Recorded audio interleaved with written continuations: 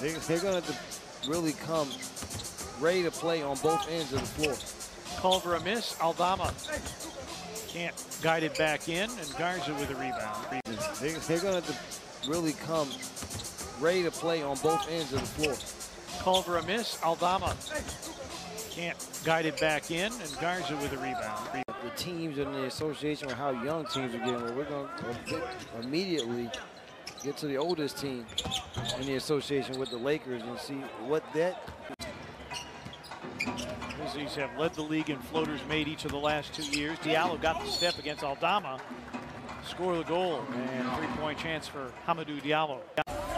Coleman's been put in a tough spot in these preseason games. Just having to be the nice three there by Aldama, but having to be the primary ball handler by scrappy guards. Yes. Rebound to Aldama. Santi, another three. You certainly want to be here for the opener. Fun night.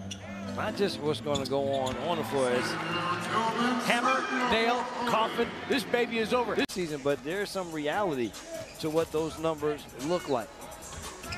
Aldama misses, trying to get it back. Luka Garza, the all-time leading scorer for the Iowa Hawkeyes.